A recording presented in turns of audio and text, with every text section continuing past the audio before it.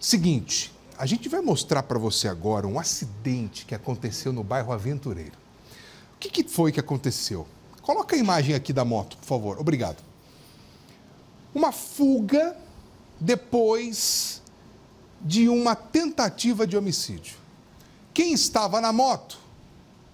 Eram duas pessoas que teriam tentado matar uma outra pessoa. Na hora de fugir, se envolveram em um acidente. Tem detalhes para você nessa história que você acompanha agora comigo aqui na Tribuna do Povo. Esta moto azul foi o veículo de fuga usado por dois homens envolvidos em uma tentativa de assassinato no Jardim Paraíso, na zona norte de Joinville.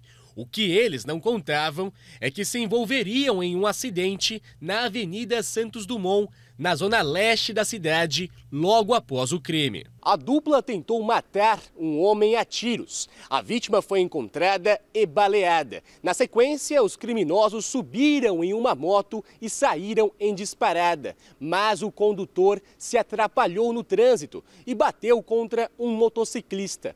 Eles sabiam que a polícia militar havia sido acionada e não perderam tempo. Continuaram a fuga a pé. A vítima atingida é um motoboy.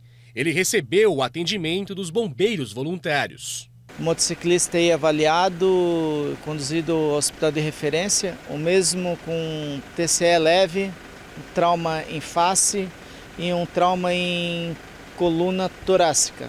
A polícia militar fez buscas na região, mas sem sucesso. O baleado no Jardim Paraíso foi levado para um pronto atendimento na zona leste da cidade. Já o boy foi encaminhado ao Hospital São José. Os policiais seguem hoje na caça aos criminosos.